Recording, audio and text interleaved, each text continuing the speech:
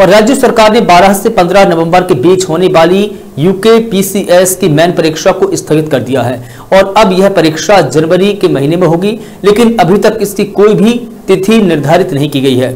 UK PCS की mail परीक्षा स्थगित होने पर हल्द्वानी से कांग्रेस विधायक सुमित हृदय ने राज्य सरकार का आभार व्यक्त किया है। कांग्रेस विधायक सुमित हृदय का कहना है कि यूके पीसीएस की मैन परीक्षा के लिए छात्रों को काफ़ी समय मिल जाएगा और ऐसे में उनकी तैयारी भी अच्छी होगी।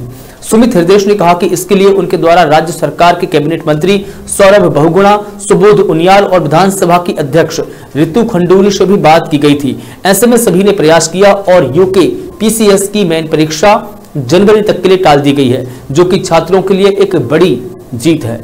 हल्द्वानी से दीपक अधिकारी की रिपोर्ट। जो समय सीमा मिलनी चाहिए इतने बड़े परीक्षा के लिए वो समय सीमा उन्होंने दी है तो अधिकार मिला है उनको।